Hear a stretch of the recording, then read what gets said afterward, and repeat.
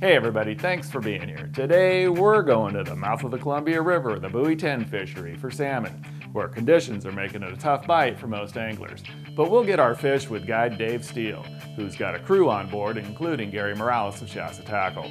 And then we're going to Shasta Lake for a red hot trout bite. Now stay tuned. I'm Justin Wolf, and this is Angler West Television.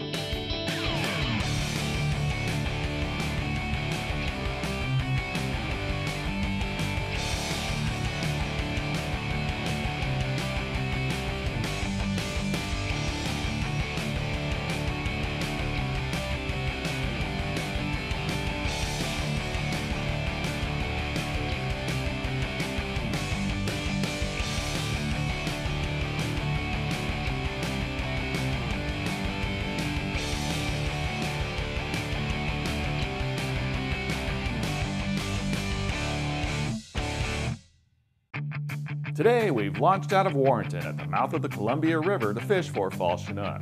We're with Gary Miralles of Shasta Tackle along with Jon Walbridge and Brad Wagner, who are fishing with guide Dave Steele. Today's conditions will make the bite more challenging, making location and presentation critical. We're going to start today up here uh, on the Washington side of the Columbia River, um, between the Megler Bridge and uh, Megler Astoria Bridge and Chinook. We're going to start in around 30 feet of water and we're going to play with the depths along there and see how things go. I'm going to start off using this uh, uh, new uh, lure here that Shasta has. And I'm going to put a little bit of scent on it. I'm using some Procure anchovy scent on it right now. And this is uh, super gel. And all I'm trying to do is put a, throw a little scent out there. We're going to put these out and set your bait down in the water first. In this case, I've got a lure. And then your weight. And reel them up to the tip. And reset your counter. And then from that point, just flip it open and go out. Now what I'm going to do is I'm going to put this one out 30, I'm to put this out 36 feet.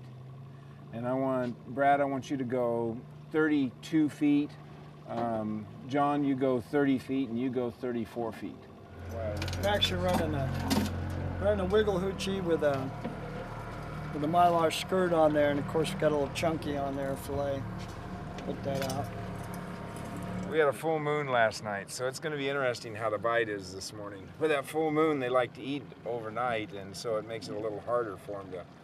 It, sometimes a little slower first thing in the morning. Oh, fish on. There we go. Grab it. There's a fish. Get your line up. Get the lines up. One thing with the barbless hooks, you got to keep your lines tight, guys. Isn't that isn't that nice, John? Yeah. We're ready.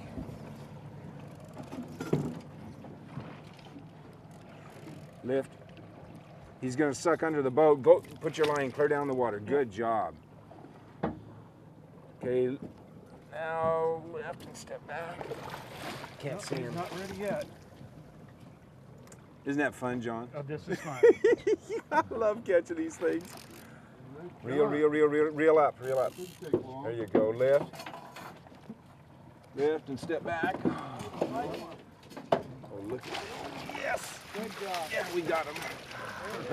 Hey, I want you to notice we just barely got out and look at what we caught it on. Beautiful sling blade.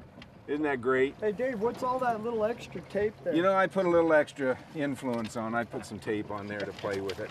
So it's just something I do. It's a specialty. They always ask me for it at the show too. Like, what'd you do? Now look at this baby. Nice, beautiful upriver bright. Man, that's a Nice. pretty, pretty Yes. fish. That's the way to start the day. Yes. Taking- what was that? Five minutes? I don't think, I don't think it was five minutes. Yeah, that long. nice job. Good old sling blades. So much for the full moon, huh? Yeah, you know, I, I'm sitting here thinking this could be a real tough day with this full moon and a little bit of a wind today, and should you come out and spank them in five minutes? That's what Okay. All right, thank you. it, all right. Nice One in black the boat. mouth. There's one in the box. You got to get one to get two. We're in 25 feet of water, and that's a little shallower than what we just caught this. But but I trolled out of 25 right into about 30 when we picked up that fish. We weren't in the water three minutes before we had that that salmon hit. So whatever we're doing seems to be working. So we're going to try that again. Let me know when you're ready, Dave. Okay, let's go, guys. Make sure you restart that counter, Gary. Okay. Here's what I'm using. Uh, I've got a brine with uh, involves some bait dye, the Procure Badass bait dye. The blue is what I happen to have on right now, and I'm using. It's a little brine I put together, but it involves that bait dye, and it also involves the brine and bite that Procure has. So. Um, you saw how fast that fish just hit. In three minutes, we had a fish on. So um, I've, I've been very successful with that.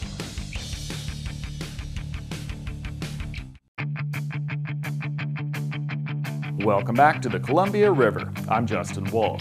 Guide Dave Steele is trolling a combination of bait, spinners, and wiggle hoochies behind sling blades, which has us tagging our first Chinook right out of the gate, despite fishing on a day that puts us at a disadvantage. We have a full moon, and typically what happens is the fish feed all night long, so they don't like to bite right in the beginning of the day. And uh, at the same time, then we have a big tide change, and on the big tide change, those fish like to get into shallower water, so they're not fighting the tides as much when they come in. And they and it seems it's been my experience that in big tide changes, when it finally happens, it happens around the tide change, and it kind of happens that uh, the bite happens in mass, like there's a lot of fish on at one time. Where if you have a low tide change, a low uh, ch- exchange of water, it's a continuous bite. That's been my experience, and uh, there's a lot of people that'll swear by the big tide changes, but they they know how to exactly fish it in a specific area. Overall, I like the, the light tide changes. Reel, you got barbless hooks. Looks like a coho. We'll take a, a keeper coho. Heck yeah. You got one. I got a big fish here. You, you got one? Yeah, Bit on the way in? well, there it was. Hey, John, Yeah. gave it slack, buddy. I didn't know I had a fish. It, it hit it right at the surface. Yeah, I had a small coho on the sling bait with a, a um, uh, yeah, bait. yeah, got it right up to the You boat, what. I know what I did. yeah. and uh, it spit the hook just as we got it here. But it was a good thing because John got oh, oh, Yeah, right here. His got off. oops. Well, that's two for two. It hit it You got right at one. the surface. and Did in it? a circle, and before I knew it, Well, there was slack in the line. did it hit you right at this boat? Yeah, yeah, on the right surface. At the surface. He was chasing it. Yeah, he Uh, chased it and hit it. You know, I've been running a wiggle hoochie this morning. I haven't got bit yet, and uh, we got one gold spinner on. I'm going to go ahead and go to the uh, silver, see if we can get a little more flash, and tie this up with some 30-pound fluorocarbon. Hold on just for a second. You got, he's using 30 pounds, and I like that 30 pound leader on those. I use 30 to 40 pound, either one. Go about Four. four feet. I'd like to go four feet on those. Okay, what I've done here is I've switched over to this uh, to the pink silver scorpion salmon spinner, and then uh, also put a scent chamber, um, a P line here up to my scent chamber, and that'll add a little more scent as well. We're using the, the solubles, water solubles, and some anchovy there, and just run that to the back behind your sling blade. That works real good there, and uh, if we wanted, we could put a little more on the blades even, but that'll work. Uh, the Columbia River this year is is uh, barbless. Notice my hooks have no barbs on them; they're pinched, and so I've gone to a three hook setup to try to help retain some of the fish. We have so many that spit the hooks, and this is what how I've tried to counteract that. Trust me, it doesn't always work, but I try, and. Uh, you know, the, the idea is to get that real good spin on your bait. And uh, we all have our individual ways of doing stuff, but but with the three hooks, you got a little better chance of getting that that fish to have more than one hook in it. There we go. Ah, we've just switched up. Got that spinner on there. Oh, it's a little guy. Look, we're talking real small. Yeah, a little shaker. It's a small little coho. Yeah, it is. Yeah. You know, if you really want to catch a big fish, you got to eat the herring. he didn't even hesitate. I don't need the hesitate. tails though. I love it. You're the man, John. luck's gonna change. Luck is Doggone gonna it. change. That means we're all out of luck now. Are you going to eat one? Um, maybe if I get my second fish, I will. You're dreaming if you think you're going to get me to eat one. Yeah, one of the things Dave likes to do with the sling blades is add a little tape to the back side. The reason you do that is when this is going back and forth through the water, obviously sun coming down, it's hitting this side of it as it goes through the water. So by adding a little extra tape here, it's going to throw more flash. The colors on that are going to come off as well. So you just get a little extra flash out of it. And you can see it's been working today. Take it. Fish on, get it out.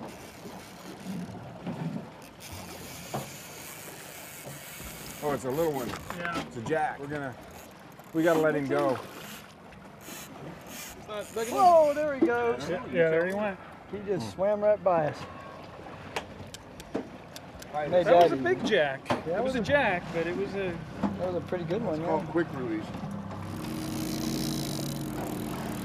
Still on it? Yeah. Tight. Okay, come back over here. Come over to the counter. No. Get away from that motor. He's good. Remember, if you give him any slack, he's gone. Keep tight on him. Yes. Start reeling before you drop that tip. Ooh. Whoa, back down. There he goes. Julie. Is it? No, it isn't.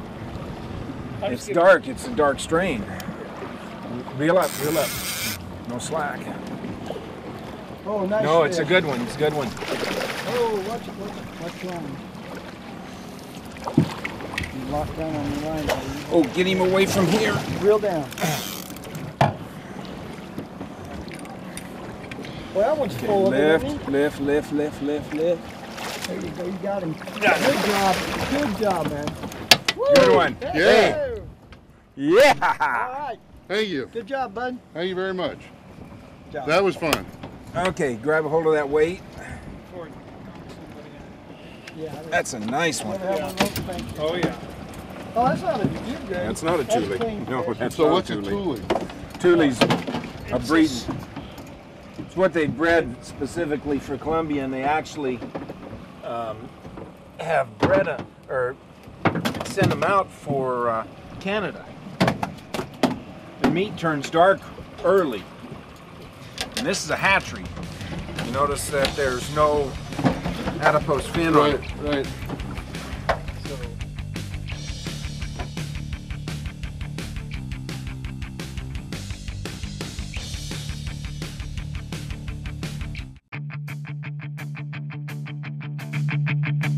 the spring and fall, Shasta Lake's rainbows tend to feed near the surface.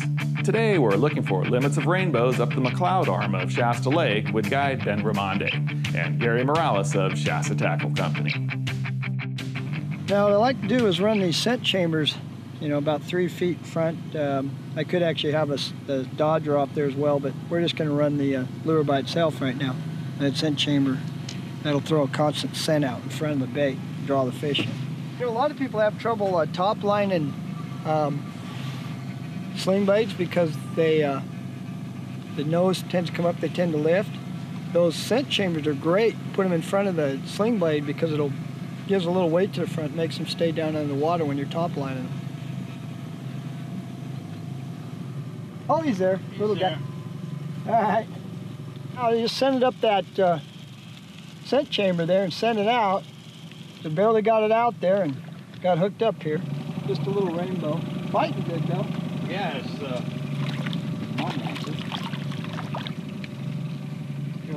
Yeah.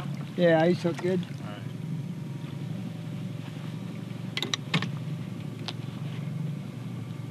Yeah, it's a little planter. Probably been in here a month or so. They, they plant about 200,000 fish a year in this lake. And good catchable rainbows. The Cripplure is one of my favorite. Boy, planters really tear them up. Yeah, you got another fish on. Shoot, can't even get that one.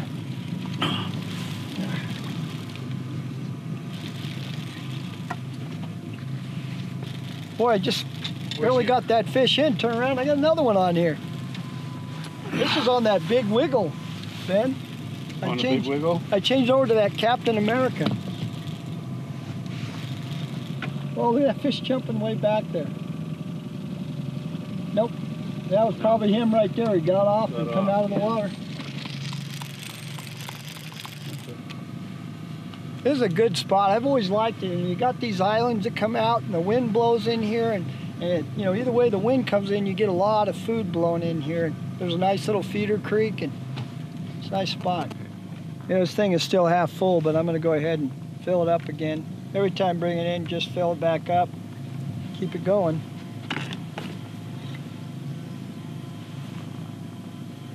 Let's see if I can keep this happening, hit a fish every five minutes, we'll be limited out in no time.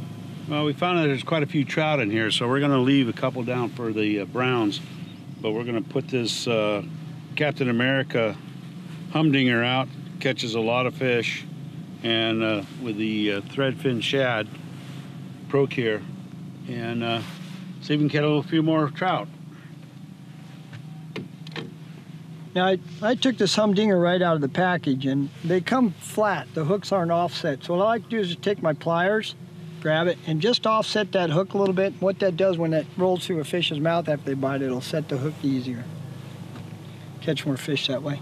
We're seeing these fish on the surface, so we're going to top line here. And line counters really help out with this because you want to get 200 feet behind the boat, and you know you, you don't want to get too far out there, but uh, 200 feet's about right. And with the line counter, we can get exact. I just barely brought that Cripplure back up to the surface and uh, got hit again. Another one of the planters. Nice thing about this lake is there's a lot of trout in here and you can catch a limit of those in a hurry. Yeah, I think what we're going to do is he just made one pass, and each pass we catch caught a nice trout on the orange, so I'm going to switch this one over to the uh, orange Cripplure as well. I uh, think uh, one of the reasons this time of the year the orange and the gold it seems to be really popular because of the plankton bloom. Every year in the spring we get a plankton bloom, and when we go up on a pit, we'll run this, and they just just annihilate the trout. And any other color doesn't seem to work as well. So we've been hooking up with this here, and we did see some plankton, so we're going to put it on a setter rod as well. Hey Ben, I think this scent, scent chamber's working. Oh, I didn't realize you had that on that as well, huh? Yep. Yeah. Fish on. On that On the- humdinger. Oh, the surface? Yep. Just top lining that, right? Good deal. That's on the orange Cripplure. You changed over to the Oh, orange. yeah, I'm sorry, the Cripplure. That's that same Cripplure. Seems to be a, the attractor. Well, that's a better fish. Yep. Oh, that's a pretty trout. Nothing wrong with that. Yep.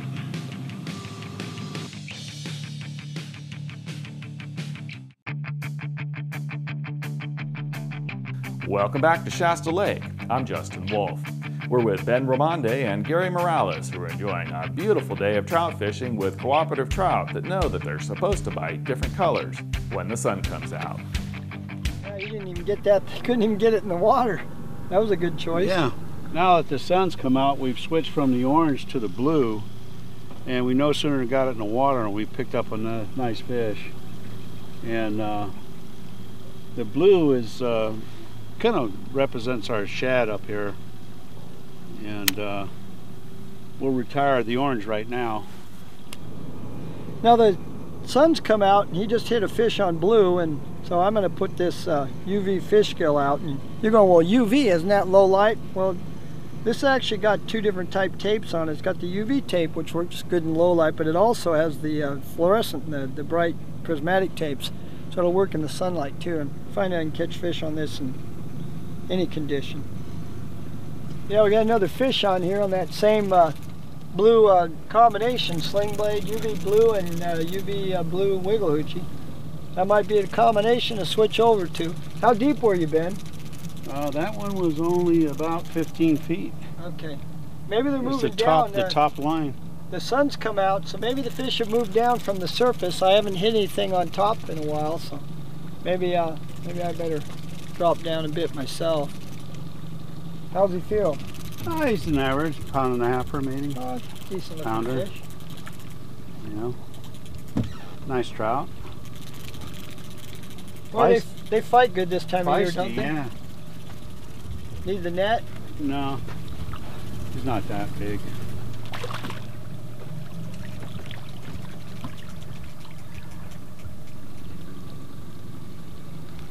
Oh, catch and release. Yeah, that's, That's what we way. like to do. Yeah, he just wasn't hooked well enough. Why didn't you get the net? We're gonna go right straight for this point, and then we're gonna take a hard right, swing out, and then a hard left and run our lines across that point. We're gonna hit it around two miles an hour.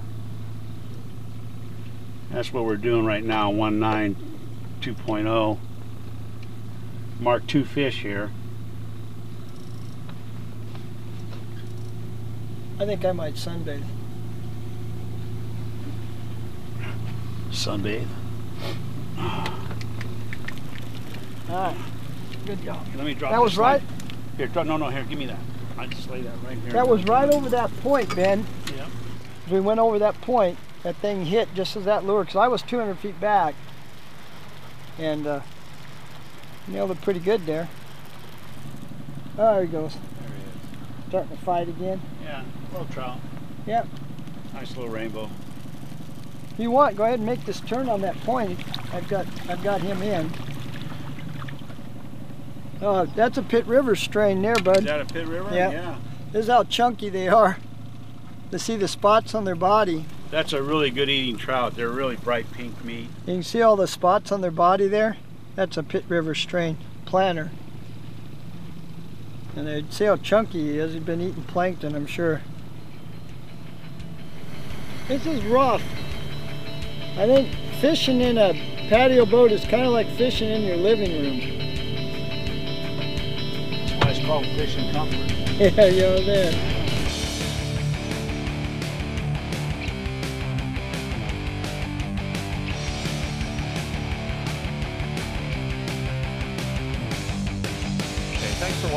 Today's episode of Angler West TV. You know, it's only with the sponsor support that the show is made possible, so please thank them when you can. Now get out there and do some great fishing.